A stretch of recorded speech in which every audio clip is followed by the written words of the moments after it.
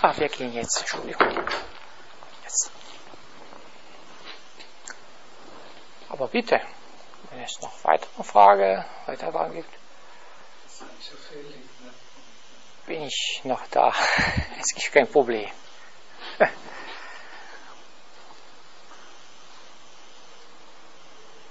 ist ein erstaunliches Phänomen, das da in diesen psychologischen Bereichen äh, Richtungen lernen, die Juden derartig dominant sind.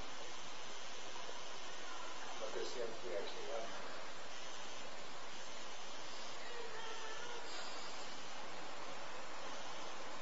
Das ist ein offensichtliches Problem, äh, Phänomen. Ne?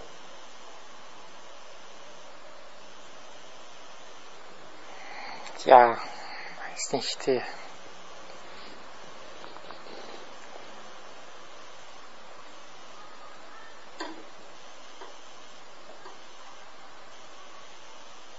Schwierig zu sagen.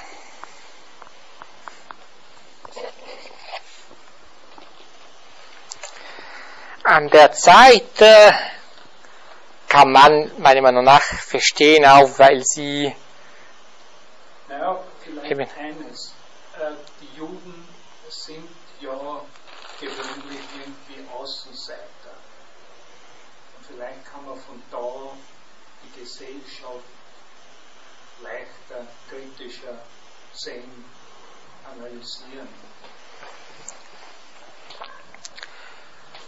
kann man sagen, ja, meiner Meinung nach eine Rolle bezüglich der, der Tatsache, dass eben.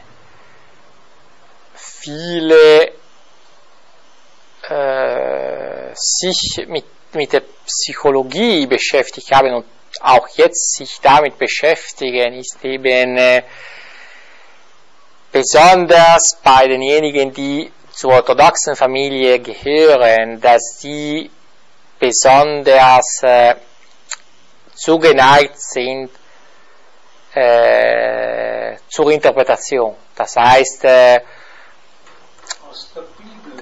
Genau, aber auch eben die Tatsache, dass äh, ihre Art und Weise von interpretieren ist nicht eine monistische, sondern es ist immer so, dass je mehr Interpretationen man gibt, desto besser ist es. Das heißt, normalerweise wird gelehrt, man muss zur richtigen Interpretation kommen. Bei ihnen ist anders. Das heißt, ich war bei Sitzungen und kann, ähm, ich, kann, ich war selbst überrascht, äh, wie der Rabbiner oder die, die, die Studenten immer sagten, es könnte so sein, aber als Alternative könnte das vorgeschlagen werden oder vielleicht auch das oder vielleicht auch das. Das heißt, es gibt immer einen Pluriperspektivismus in der Interpretation von der, vom Alten Testament, das eben befördert wird. Das heißt, es muss so sein. Das ist richtig. Es, ist nicht, es wäre nicht richtig, eine einzige Interpretation zu haben, sondern es, muss, es müssen immer viele Interpretationen geben. Und de, je mehr, desto besser. Und das vielleicht eben lehrt äh, dazu, die Dinge und die Psyche auch äh, als Buch auszulegen und so in einem Polyperspektivismus der Interpretationen äh, darzulegen. Das ist meiner Meinung nach eher der Fall bei Freud als bei Adler. Wenn er interpretiert die Träume oder wenn er interpretiert die, ähm, auch die Krankheiten, die Symptome, psychischen Symptome der Krankheiten der Patienten, erinnerte er mich wieder wirklich an die Art und Weise der Interpretation im theologischen Sinne von der, von der, von der Rabbinerschule. Das erinnerte er mich formell gesehen, nicht inhaltlich gesehen, aber formell gesehen, äh, erinnerte er mich wirklich sehr viel. Das gilt für Freud, denn er war, er gehörte eher zu einer orthodoxen Familie. Das heißt, Adler war hingegen ein komplett Agnostiker. Man kann nicht sehen bei ihm eine tiefe Verwicklung, äh, Vertiefung äh, oder Bildung in der, in der Tradition der Interpretation der Rabbinerschulen. Bei Freud ist das meiner Meinung nach schon anders. Das heißt, bei Freud äh, kann meiner Meinung nach äh, etwas wahrnehmen der Art und Weise der ähm, Interpretation und auch der, dass wirklich die Interpretation von etwas nie zu Ende kommt. Das heißt, man äh, diesen Eindruck bei dem, besonders bei der Traumdeutung, dass praktisch immer wieder die Perspektiven sich vergrößern, sich verkomplizieren, dass die Besonderheiten immer wieder mehr und mehr integriert werden im komplexen, ganzen Komplex. Das gilt eher aber für Freud als für Adler, meiner Meinung nach. Bei Adler habe ich, bei der Lektüre habe ich nicht diesen Eindruck gehabt. Aber bei ihm, bei Freud, würde ich jetzt sagen so.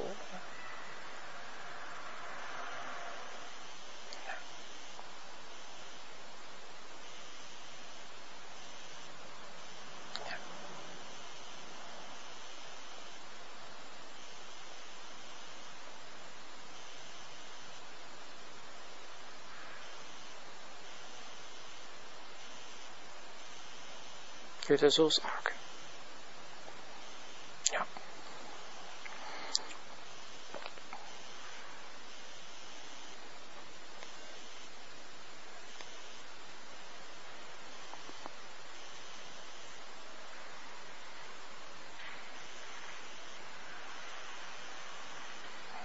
Das hatte ich vergessen.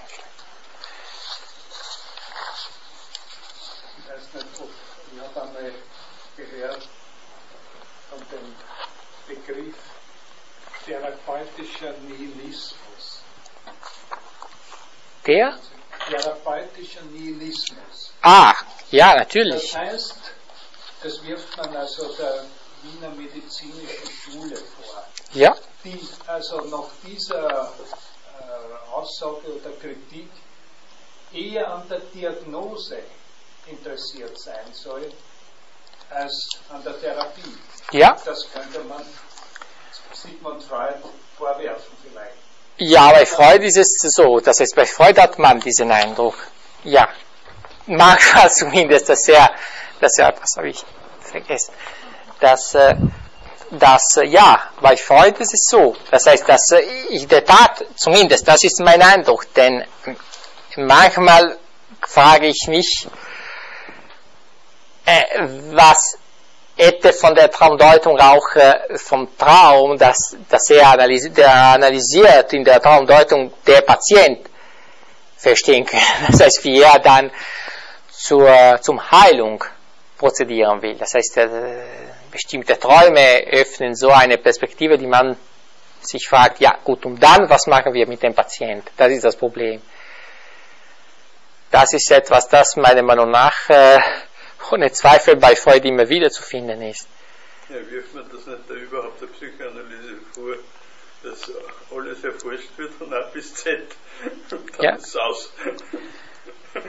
Da, das ist nein, das ist ohne Zweifel ein bei Freud ein Problem. Bei Adler, ja, der versucht immer, wie gesagt, äh, unmittelbare Lösungen zu finden. Das heißt, er will nicht äh, zu unendlichen Analysen fortgehen, übergehen, denn seine, sein erstes Problem ist der Kranke.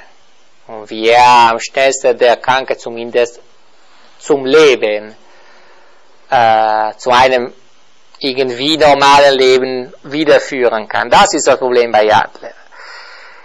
Bei Freud manchmal habe ich den Eindruck, zumindest in dem, was ich gelesen habe, dass er irgendwie die Kranken verwendet. Insofern, als er die Kranken studieren will, um seine Theorie zu erarbeiten. Das ist äh, Das wäre fatal. Da wäre eher den Eindruck, den ich habe. Ja, natürlich. Natürlich. Denn die Analysen sind so großartig, lang, äh, ausführlich, dass man, ja, und was mache ich jetzt dann mit dem, mit dem Patienten, aber was mache ich, das habe ich ihn gefragt. Ja. Es ist natürlich zu fragen, wie weit diese sicher interessanten Ergebnisse von Sigmund Freud kulturgeschichtlich interessant sind. ja natürlich, War natürlich. Theologe oder interessiert, nicht? Ja. Aber da versiert in den antiken Kulturen anscheinend. Ja. ne? Das ist vielleicht kein, kein Zufall. Ja, ja, natürlich, äh, ohne Zweifel, in Freud, bei Freud haben wir immer eine Interpretation, eine globale Interpretation. Das heißt, er hält sich nicht beim Patienten auf, sondern interpretiert auch die Mythologie der Gesellschaft äh, und äh, die Art und Weise auch, wie die Gesellschaft äh, über sich selbst reflektiert, die Bilder, die sich eine Gesellschaft gibt, Totem, Tabu auch, aber nicht nur natürlich. Diesen, äh, dieser Ansatz fehlt bei Adler. Dieser Ansatz fehlt bei Adler. Er ist vielleicht eher Arzt äh, als äh, Philosoph. Freud ist schon äh, Philosoph, vielleicht eher als Arzt, man würde sagen. Ein großer Denker. ist ohne Zweifel sehr, immer sehr komplex, immer sehr, sehr interessant, sehr mit einbeziehend, aber mehr Richtung von einer Interpretation auch der Geschichte als äh, in Richtung zu, zur Heilung von der, einzigen, der einzelnen Person, würde ich sagen.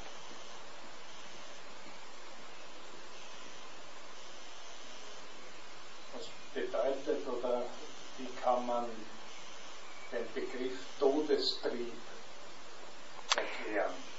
Todestrieb, äh, es ist, äh, soweit ich weiß, wird auf, ähm, auf äh,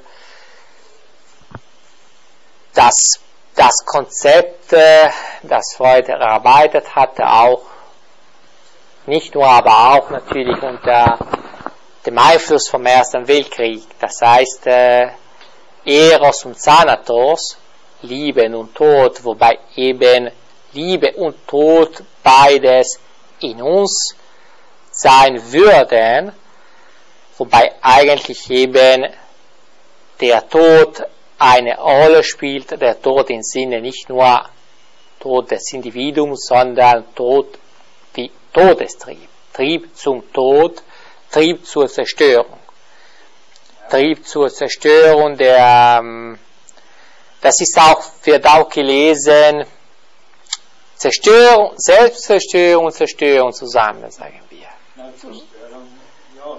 Wille nach, äh, nach Vernichtung, nach, äh, Aggressionstrieb kann man sich erklären, aber Selbstzerstörung, ich meine, jedes Lebewesen drängt oder hängt am Leben. Nicht? Ja, genau, aber ich glaube, es äh, hängt auch äh, mit der Theorie von Freud vom Unbehagen der Gesellschaft, der Zivilisation. Das heißt, dass wir ja zivilisiert sind, aber das kostet uns Mühe. Es ist eine Mühe, zivilis- zivilisiert zu sein. Deswegen eine Sublimierung, aber auch sozusagen ein Überbau. Ein Überbau, Überbau, eine Art von Kontrolle durch das Über-Ich, ein Aufbau von Struktur vom Über-Ich, wobei eigentlich das es eben zur eine zerstörerische Kraft von Impulsen, unkontrollierbare Kraft von Impulsen, welche in sich selbst auch die Zerstörung hat, ist. Und äh, das ist, ist das, was äh, für uns äh, eigentlich dieses, diese Wahrnehmung von Unbehagen der Zivilisation. Die Zivilisation ist etwas, das eben das Es kontrast, Es kontrastiert. Diesen Todestrieb, Zerstörungskraft oder magmatische Kraft von Impulsen, welche nicht alle von der Zivilisation akzeptierbar sind, sondern welche verdrängt werden, niedergedrückt werden zur, zum Aufbau der Zivilisation. Aber da das immer in uns ist, das kreiert eben das, was wir eben als einen Sinn von Missmut für die Zivilisation. Aber etwas in uns akzeptiert nicht die Zivilisation, denn eben die Struktur von diesen Trieben ist etwas, das blockiert wird von der Zivilisation. Und deswegen perzipiert die Zivilisation mit Unbehagen, mit Missmut, mit äh, Missvergnügen, mit äh, Abneigung. Ja, genau. Und über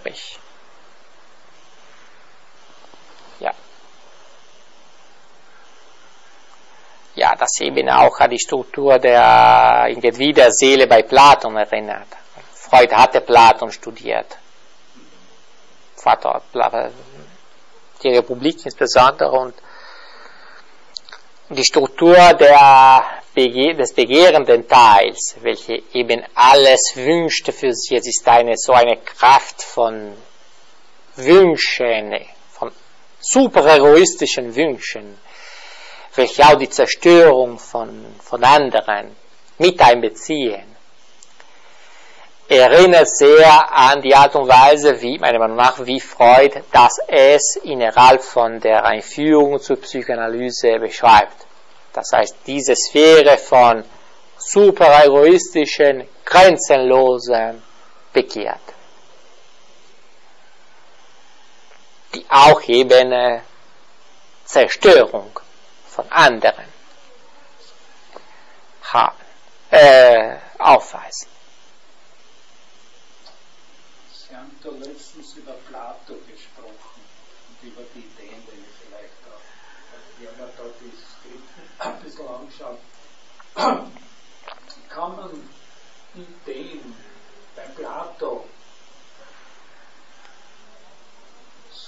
so äh, verstehen, wie andere Philosophen vielleicht das Wesen einer Sache sehen. Ja, ja, natürlich.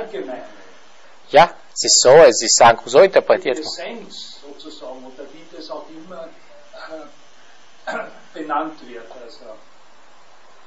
Ja, es ist so interpretiert worden, ja, in der Tat. Weil zunächst einmal in Ideen denkt man irgendwas als was Nebuloses, nicht? Nein, nein.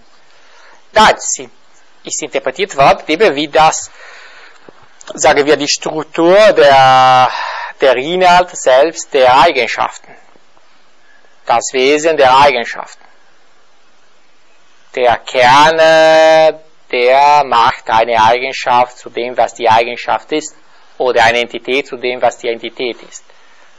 Ja, ohne Zweifel ist es eine Art und Weise, die platonischen Ideen auszulegen. Zwar ganz legitim. Nicht die einzige, aber eine, ja, es ist eine Interpretation, welche Platon sehr eng mit äh, Aristoteles schon verbindet. Das heißt praktisch, Aristoteles hätte dann mit dem Wesen dasselbe gesagt als Platon, nur mit anderen Wörtern, mit anderen Vokabeln.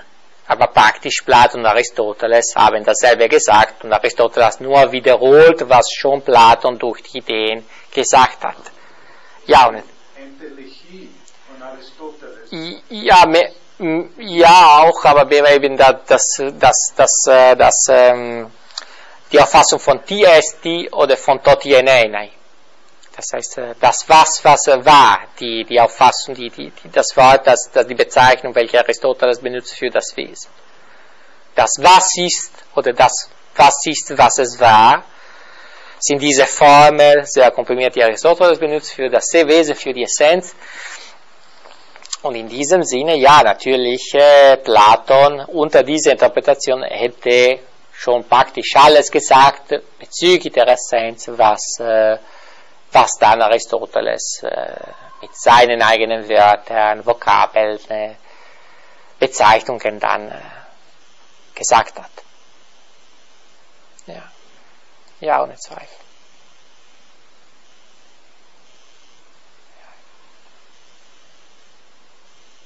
Steht hinter Alfred Adler irgendein Philosoph oder irgendeine Philosophie? Mm, da irgendwas sagen?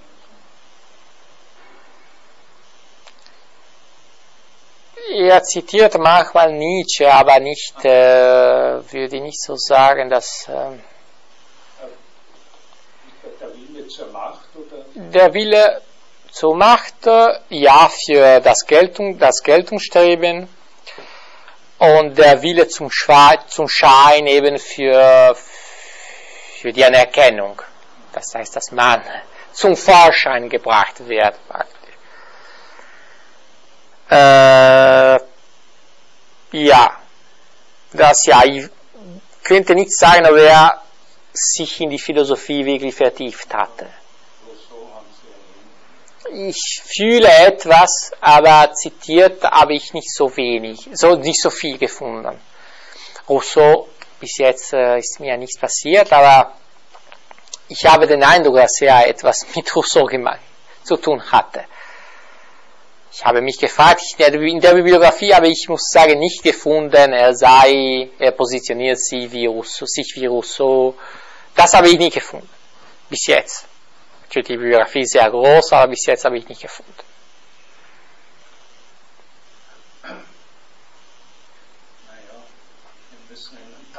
Also Bitte sehr, keine Ursache.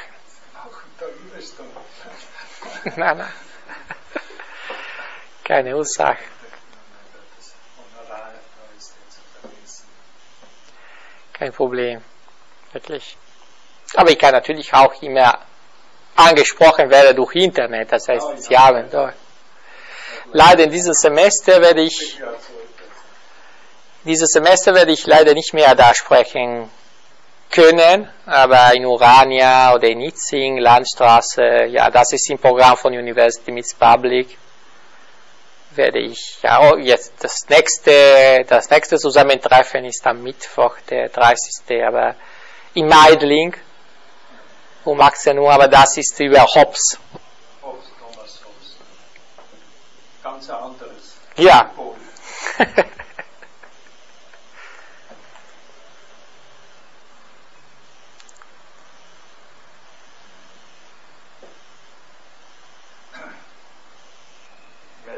Ja hauptsächlich Physik. Äh, Physik. ja, genau, genau. Genau. Die wollen auch ein Programm über äh, ein Stu- Stu- Studium Generale für Physik jetzt auf die Beine stellen. Nehmen Sie was vor.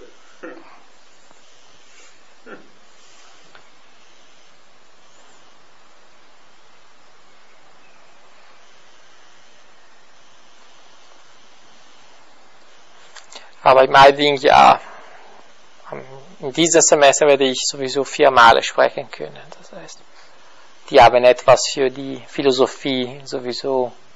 Ja, ja. Reserviert. Also, äh, ich habe nicht damals, also wie Sie mir überlegt haben, weil es im Hauptgebäude so zu eng geworden ist und wie Sie da im auf der Schönbrunner Straße auch ein bisschen ausgewichen sind, hat der Direktor, also der Leiter der VHS, ihm betont, dass Physik überhaupt ein Schwerpunkt Ja, ja, ja, ja ohne Zweifel. und interessant ist ja zum Beispiel eins, dass die Wirtschaftsuniversität also kaum auftritt.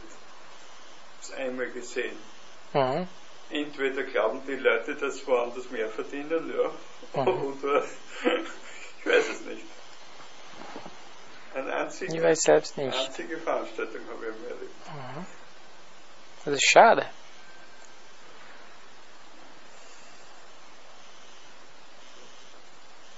Gut. Die Uni ist selber meines Erachtens total überlastet, ja. Mhm. an Räumlichkeiten und Studenten, aber das heißt dann nicht, dass die dortigen Lehrenden und Forschenden sich mehr an die Studenten annehmen. Mhm. Das nehme ich Mhm. eher nicht an. Mhm. Nämlich in dem Ausmaß, in dem Nein, sie nein, nein, nein. sind. Mhm. Aber,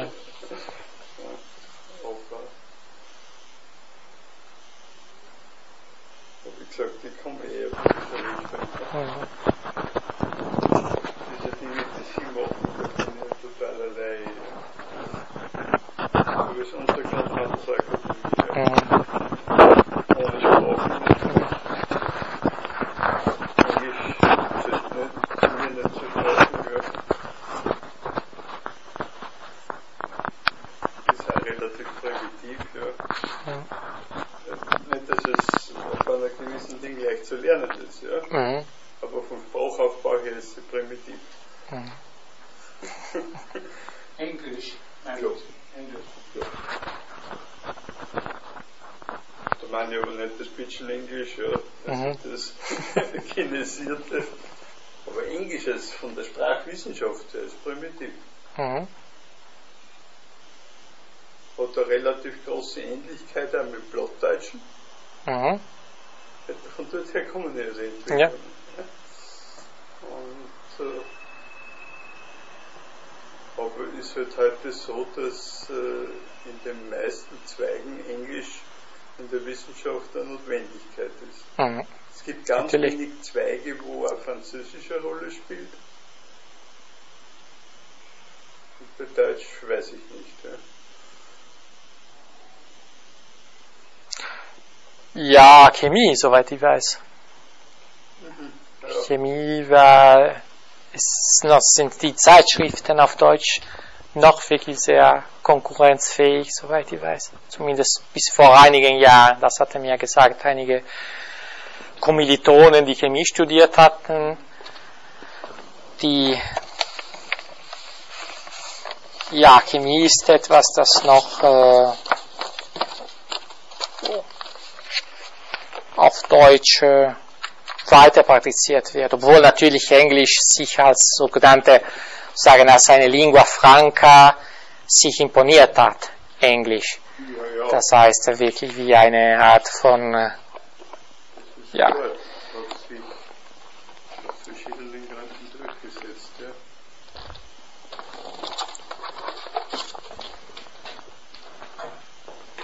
Nur von der Wertigkeit her, ja. ja, Ich meine, Italienisch ist sicher nicht wichtig, aber es ist eine ganz andere Sprache, ja. ja,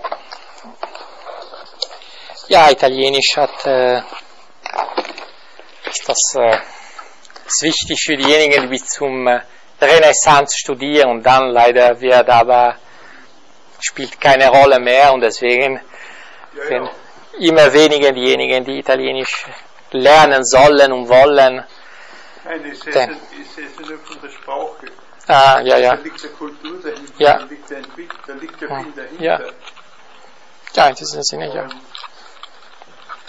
Mir ist schon eines klar, wenn man Englisch tiefer einsteigt, dann wird es schwierig. Mhm. Aber äh, wenn man sozusagen in den, in den Lateinteil von Englisch einsteigt, äh, da gibt es ganz wenige Engländer, die dann mit, dann mitkommen. Ja? Nein, natürlich, ja, ja. Natürlich. Ja, ja. Natürlich. Das heißt, äh,